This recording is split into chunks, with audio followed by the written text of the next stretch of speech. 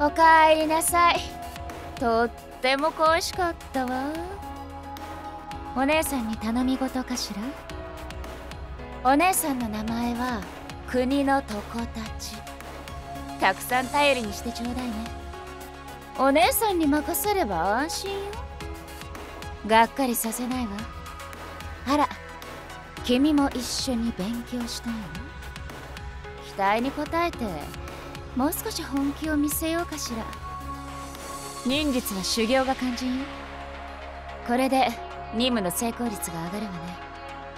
君のためならもっと力を出してあげてもいいわ。あら寂しいの？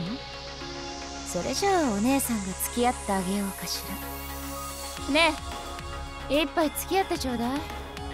仕事？そんなのどうでもいいわよ。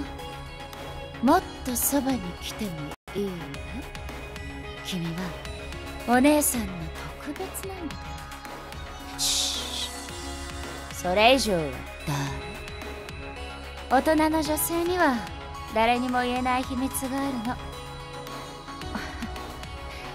疲れているなら無理しない方がいいわ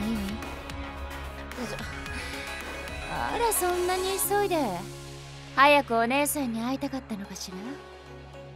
おもうそんなに揺らさないでちょうだい。もうますます君に惚れちゃうじゃない。残念。お姉さんの心はそう簡単に押し量れるものじゃないのよ。それじゃあ任務開始ね。行くわよ。今よ覚悟はできた私の本気見せてあげる。ちょっ。と油断したわね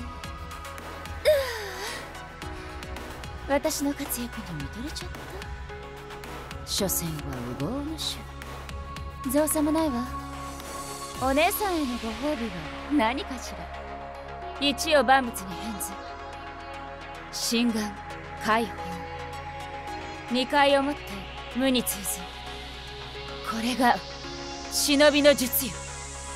春心の術。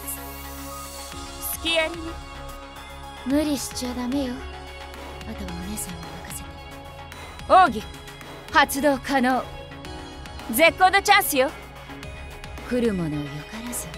油断は禁物よ